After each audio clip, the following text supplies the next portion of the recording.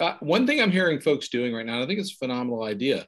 Recording a video talking about where were we at at the beginning of the year, where are we at right now, and where are we going, just in the interest rate um, uh, conversation. Meaning,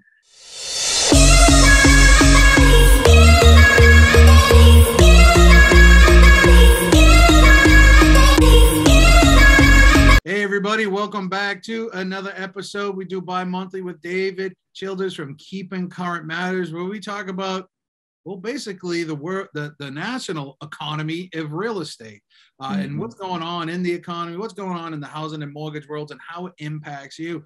David, welcome back for another awesome chat. Johnny, I'm glad to be back and uh, always enjoy these Friday afternoon chats that we get to have. I know folks join uh, here on Zoom and on Facebook Live and, and the LabCoat uh, Agents Group. So always enjoy the conversations that we have. And, you know, our goal at Keeping Current Matters is that anybody watching and anybody that uses this information would be the most educated agent in their market on these topics. Uh, anything from, you know, maybe we'll talk today about interest rates, seeing some interesting things there to prices, to appreciation, all the things we've talked about, Johnny, over the last year. So glad to be here. And uh, glad to be back uh, on a Friday afternoon talking. Yeah, can, you know your intro was great where you said you know to be in eh, you know the most educated agent or yeah. knowledgeable agent in your area, and I'm going to tell a quick story about. It's going to just take one minute if we if we can. So I have I have a monthly meeting with all my partners, and in that we always ask for wins, you know, blah blah blah. Mm-hmm. And one person I actually called on him. I said, "Hey, we did a video for you tell everybody you were the listing agent prior. A buyer's agent brought the buyer to that home. The transaction closed. Several years later, they specifically reached out to you. Why? And he said, well, because they thought they saw us all over social media. They saw us active doing videos and everything else like that. Explore my town. And, um, you know, plus they got a, a, local page. They've lived there for 50 years, right? And, um, no, they know everybody, but they said because we are active on social media mm-hmm. and we see you everywhere. So that's the importance of doing that kind of stuff. Incorporate, and we're going to talk about it again later. Incorporate this information that David's talking about into your weekly, monthly rhythms and you can daily weekly or monthly rhythms whatever they are and you can position yourself to be more knowledgeable than the competition in this day and age we need every edge that we can get to get those listings. Anyway, sorry yeah. to Absolutely. No, I think you're I think you're absolutely right, Johnny. I, I always enjoy your perspective on uh, not only the market, but hey, here's a video that you can go out and record on one of these topics because you're right. When when you are out there, when you're consistently doing that, you're seen as the educator. You're seen as um, the one that knows what they're talking about. So I think it's it's uh, really really important. Yeah, one of the biggest one of the biggest uh, obstacles that we uncover or what discover during our calls is people don't have content. They don't know what yeah. to write, right? That, yeah, yeah. Over here. Right, right. no, I, I agree. I think I think you're right there. And so the way I like to start off these calls, you know, when we're talking, Johnny, is what are we hearing out in the in the world? What are agents asking? And um, you know, I see we have folks here on Zoom. I know we have folks live on, on Facebook, and you know, maybe drop your questions in there. Or what are you hearing? What questions are coming up uh, from folks? I'll tell you one that I've gotten several times is. Uh, you, you almost we can't do this next you know half an hour 25 minutes whatever we have left without acknowledging the conflict in Ukraine, Russian invasion there, and um, and certainly pray that that would end quickly if that's if that's possible you know for the for the human toll there but johnny a lot of questions that i'm getting about uh, how, how is all that potentially going to um, affect the housing market you know i, I talked to a, a kcm member uh, late last week about uh, you know a seller they were working with. He said, "I'm concerned that this is going to cause you know disruption in the housing market we're not going to get as much for a home as we thought we were going to get. So a lot of questions uh, we've gotten about uh, about that. I covered it actually earlier this week on a on a kcm uh, live but I, I, I did want to talk about that for just a minute and i'll hop into kind of our topic here. You know certainly we're seeing disruption uh, or, seeing losses in the stock market uh, based on uncertainty and things like that. And that's not the housing market, but certainly the the you know amount of money that people have in the stock market uh, bodes you know sort of to how wealthy people feel and you know them going out and buying homes and uh, and that. And and you know I always try to remind people let's forget about um, you know sort of the rich people idea of the stock market. Every you know first responder every teacher every factory worker that has a a 401k or retirement plan likely has you know uh, assets and, and, investments in the stock market you know uh, probably a sizable portion of their uh, net worth invested in the stock market uh, based on that retirement plan. Uh, whereas the other portion of their network uh, net net worth uh, locked up, and that's in their home, right? And that's the area we can help people. We can be the educator on what's happening here. And so, uh, one thing I wanted to to to bring to you, probably the biggest impact so far in this is um, in interest rates. And so I'll share this real quick, uh, the a couple of slides on interest rates to give you all that information. I was going to uh, ask you about this because they kind of did a little seesaw ride. Over yeah, there. yeah, we'll talk about that. But according to, to Freddie Mac, as of yesterday, 3.76 the average um, uh, 30 year fixed in this country right now. They say geopolitical tensions caused the US Treasury yield to recede this week as investors move from the safety of bonds. You'll always hear that term, the flight to safety. That's moving money from the stock market and the bond market, uh, leading to a drop in mortgage rates. While inflationary pressure remains, the cascading impact of the war in Ukraine have created market uncertainty. Consequently, rates are expected to stay low in the short term, but will likely increase in the coming months. So, you know, we certainly, again, uh, like I stated on the front end, uh, we want to see that uh, end quickly for just the human element, people that are involved. Our hearts go out to those over there, maybe people that are here in this country that have uh, relatives, family members, loved ones that are involved in any capacity um, in this conflict. But, you know, when we see this happen traditionally, this flight to safety gives us a little bit of relief uh, on a, on the mortgage rate, uh, average mortgage rate in this country, and we're seeing exactly that. You know, if you looked at this graphically, this is what it looks like going back to January of 2020. I always say, you know, uh, pandemic comes on and and the Fed influences rates lower, then we've started to come out of this and uh, peaking right, uh, you know, here. If you look at this graphic here, right above, uh, right at 4%, now down at three, uh, three and three quarter percent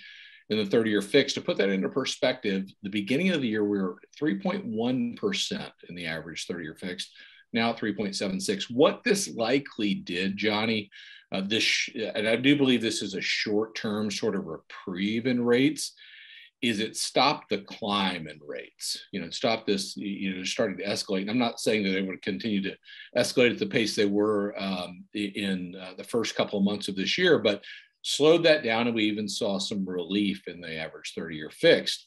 But, but if we look at this, I want to kind of unpack it. And Johnny, I want to pause after this because I think there's an opportunity to record a video to get some of this uh, information out. But uh, Ken Johnson from Florida Atlantic University really like his uh, his perspective. He said international uncertainty brought about uh, by the conflict in Ukraine is outweighing a hawkish Fed's fight against inflation.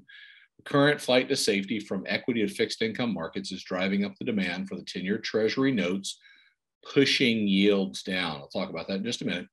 In turn, this will put downward pressure on mortgage rates, which we've seen. Put bluntly, Russia's invasion of Ukraine is driving down mortgage rates.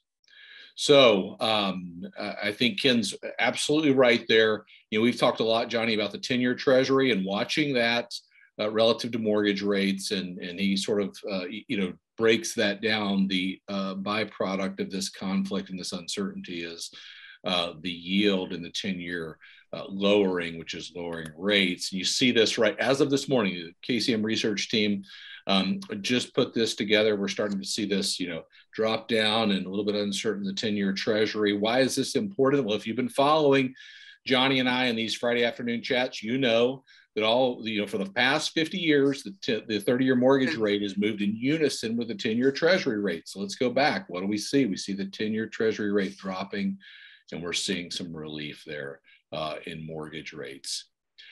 I'll say this uh, slight retreat in interest rates saw an advance in housing market activity as buyers sought to find the right home. So I think there is the opportunity to, uh, to uh, you know, help folks uh, maybe with a lower interest rate in the short-term window.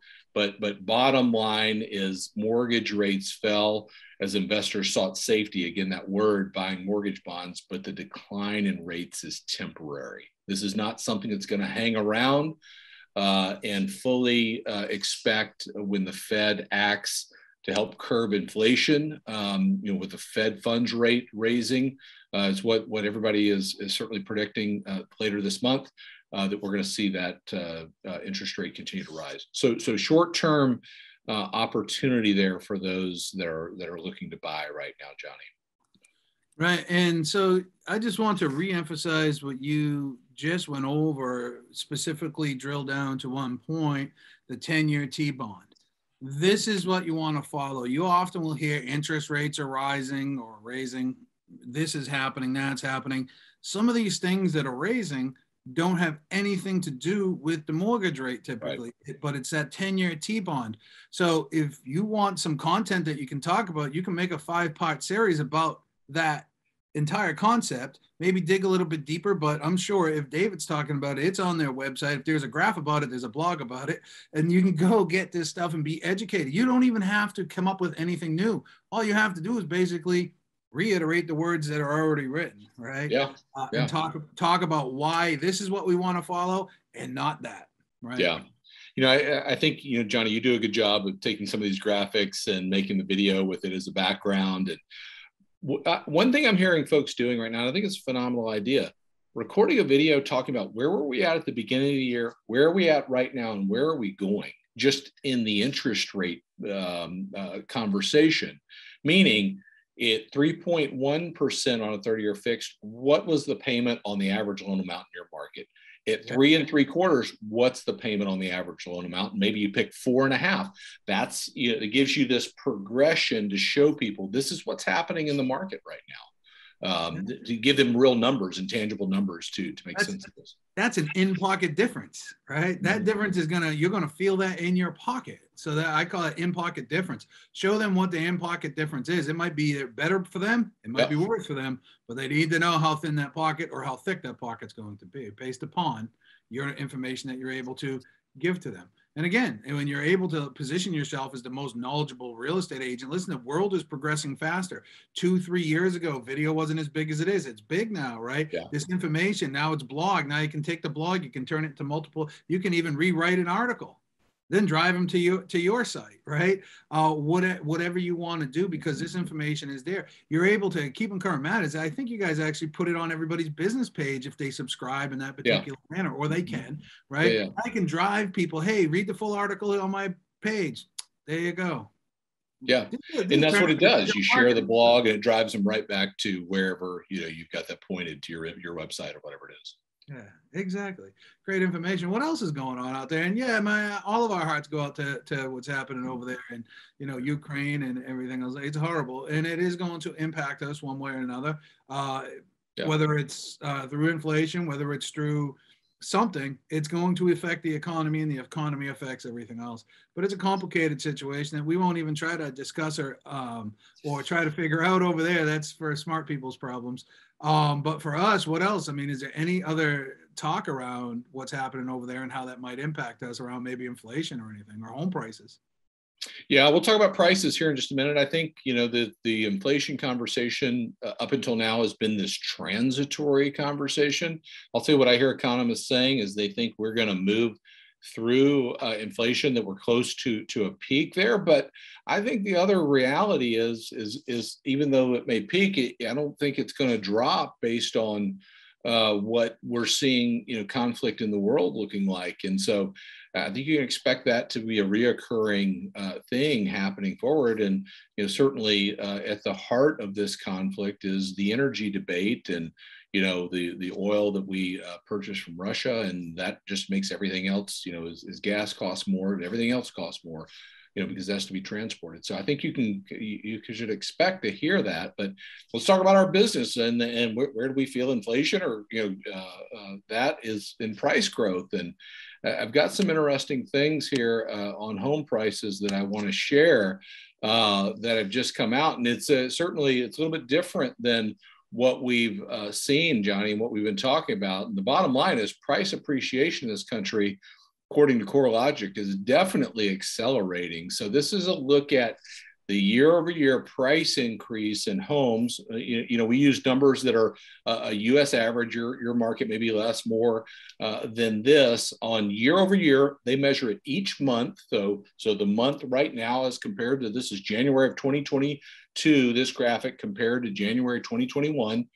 Uh, what was the average price growth in a home? And you see, you know, prices started growing at a quicker pace um, you know, through the spring and into the summer of last year and sort of plateaued off. And we're seeing a little bit of a, a peak up uh, in price growth in January in this country. So there was this question, you know, Johnny, you and I talked a lot about it. You know, is this kind of peak and curved down? Is this peaked and plateaued out? We saw a, a little bump up in January uh, in price growth due to the extremely low uh, inventory across the country. So anybody waiting around saying, you know what, I think prices are going to going to cool off here this month. Uh, they they certainly aren't getting that uh, out in the market right now, and uh, if anything, we're seeing it, it, pick up as of the latest uh, information here from CoreLogic.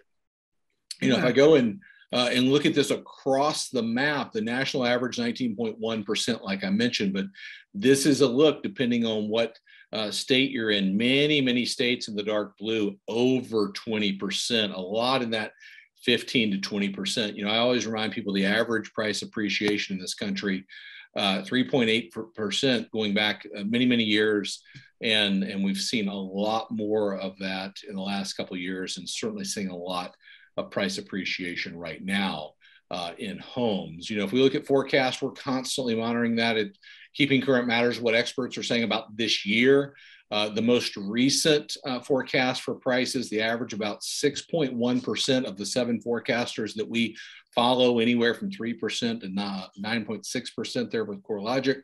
Um, a lot of appreciation. I think I think we're going to be you know higher than 6.1% personally. I think somewhere between 8 and 10% uh, in home price appreciation this year, but a lot lot more appreciation. I say this because there's this this thought of maybe we'll uh, will hang around and and not buy right now because prices will cool off and maybe you know come down this year. And, and i would use this to educate people. Reuters also um, surveyed uh, an analyst in the housing market and said what do you think? This is interesting.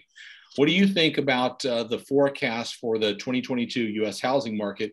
In december they said 8% well jump up to february they're now at 10.3% what does that mean you're seeing forecasters, you know, start to look and say, we're not seeing the inventory we need, but certainly we believe there's going to be more inventory coming to market.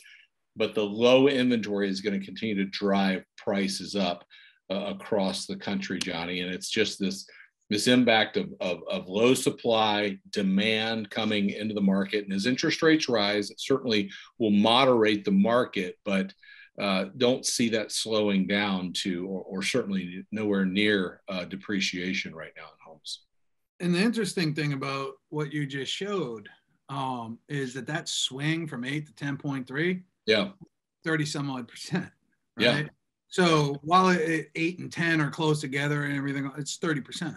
Yeah. So it's important to understand because 30% of anything is a, a, significant chunk. It's a damn third, you know? Yeah. Um, so I, I, think I think it also is reflective, Johnny, of people coming into this year going, you know, what maybe in 2022 the housing market's going to cool down and you know jump to February and, and analysts going, maybe not. May, maybe, you know, maybe we're still going to see rapid price appreciation uh, this year. That's all good stuff right there. And you know, a lot of some people, you know, the question I see it posted at least once or twice a week is often, you know, is the market slowing down where you're at? And you know, some people saying, oh, it's a little slow. I can tell you the person that I opened this uh, dialogue up with in the beginning, they had 40 offers on that property in uh, central Pennsylvania, so it's not slowing down over there. Yeah. Um, so it depends on where you are, but prices are up, and I don't think we're going to see a slowdown. I don't think we're going to see a slowdown. Uh, not not anytime soon, unless something significant happens. Yeah, it's certainly um, people. There's another question that comes up a lot. I'm sure everybody on the call here uh, gets that as well. There's nothing in the housing market that we can see or that experts are following that would suggest that. Do we have a crystal ball? And you could always talk about things external to the housing market Um, but when we look at it, uh, low, you know, rising prices are a factor of low supply and and high demand. Yeah. And you know, it goes back to sixth grade economics, right? Supply and demand, right? The greater the the greater the demand and the lower the supply, the higher the price is going to be. And flip that over, the lower the demand, always. right? That the less it's going. And that's what I always always tell people. You know, we've talked about that on, on these Friday calls. Is bring your local market information into this and say, where do you see supply at right now? Do you see supply growing? Do you see demand growing? Do you see demand squelching? You know, what, what are you seeing locally? That's going to be the determiner of prices uh, locally for you. So uh, certainly nationally, the forecast will continue to grow. Put that in the chat, either in Zoom or if you're on and watching it on Facebook. Put put what's going on in your market. You guys seeing an up market, down market, prices going up, prices going down. What are you seeing? What's going on with inventory? Yeah. Anyway, what else we got? We got yeah. I would say put in there too. If there are any topics you want us to cover and calls, I'll try to get the research team to to to take a look at that. Um, I'll finish with this, Johnny, or give you something here for a couple of minutes. A couple of interesting things on, uh, you know, the byproduct of rising prices, which is homeowner equity and uh, and wealth. Some good information coming out. Some great information for um, uh, for some videos. This comes from NAR. While the booming housing market contributed significantly to the recovery of the US economy, research has consistently shown that homeownership is also associated with multiple economic and social benefits to individual homeowners. Homeownership has always been an important way to build wealth. And we know that uh, we're in the business, we know the the intangible aspects of homeownership or non-financial aspects of homeownership that are so important and the financial aspects. Uh, according to NAR, the net worth of a homeowner versus a renter in 2021, 300,000 versus 8,000 uh, in renting. Significant, significant difference uh, in the net worth of these two.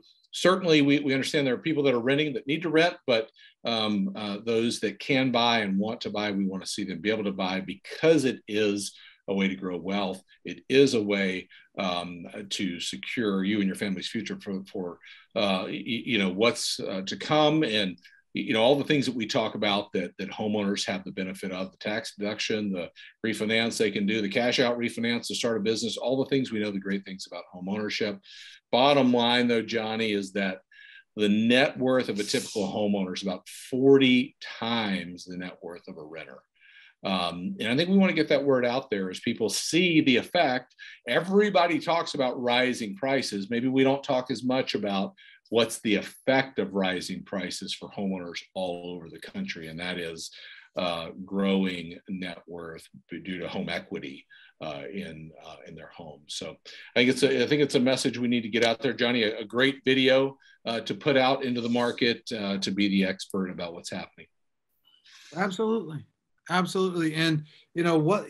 There's so much good content that you guys have and people have access to that it's all about listen the human mind right is is looking for quick content they're looking for quick our attention span is shrinking uh, it really is. Yeah. It, at the same time, TikTok's going to 10 minutes. But, anyways, people people want the best engaged videos on TikTok are the seven second videos, followed by the 15 second videos, right? Mm. For full watch time. So, you, you can put out this um, an amazing video series on TikTok, which is easy to do, on Reels, right? You can do this with your content. It's very easy to do, and it, it it's never ending, right? Because you guys are always every day updating and innovating right? Yeah. So it's a bunch of great stuff there, and it keeps you knowledgeable. It keeps you. Here's I call it. I'm going to tell you all about a little secret. I call it SOI hacking or sphere hacking.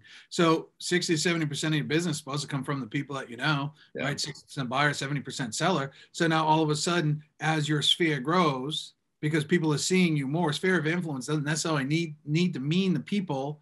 See, it's an old term and it meant the people that you knew, but it can also mean the parasocial relationships that you're building and social media and video allows for you to build that parasocial relationship. That's your sphere. So your sphere is going to grow. They don't want to follow a knucklehead, right? But if you're putting out good, solid information, like, wow, this guy knows what he's talking about, or this gal knows what she's talking about, they, they, you're gonna you're gonna build a following. And then you don't even know it, right? Because the real estate market out there is this big, but the market that's going to buy in the next five years is this big. Yeah and you're if you're not talking about that stuff and you're always constantly just looking for the now the here and nows then you're going to miss this whole big pie. So do some sphere hacking, man. I'll tell you what. I'll maybe David and I should talk about doing a, a like a 30 day ch- um, keeping current matters video challenge or something. That'd be fun. Yeah, yeah, yeah. We, we should talk, we'll talk about that offline. Yeah, absolutely. And and here's what I would say: anybody that wants these slides, that's watching and listening today, you can email me, David at Keeping Current Matters. I'll send them to you. But use this information, like Johnny said. I mean, we we are on these calls every other Friday. Give you this information now. There's there's two keys that I always always say. You have to have the knowledge, and then you have to take action with that knowledge. And Johnny, you've just given several different ideas. I know you are putting out content and showing people how to do it. And listen, I, I would be uh, taking action with this knowledge so that you can be the most educated agent and perceived as the most educated agent in your market on these topics.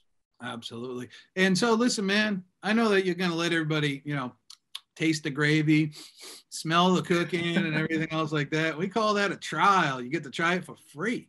So, how do people get to try this and taste it and everything? Yeah, you can go over to try KCM, T R Y K C M for keeping current matters.com and you can do a free 14 day trial. You can go in there and check it out, see if it's right for you, see if you want to use uh, this. But we do it uh, starting at $29 a month, uh, give you all this information. You can then write, uh, uh, you know, social media posts. We even give you social media posts, but uh, you can put all this great information out to the market that you serve. Exactly. So you can look educated. Absolutely. Right? Because you're working with people's biggest assets of their lives. You need to know what the yeah. market's doing. Is it going up? Is it going down? What are the economic factors? Because sellers are going to ask you these questions, buyers are going to ask you these questions.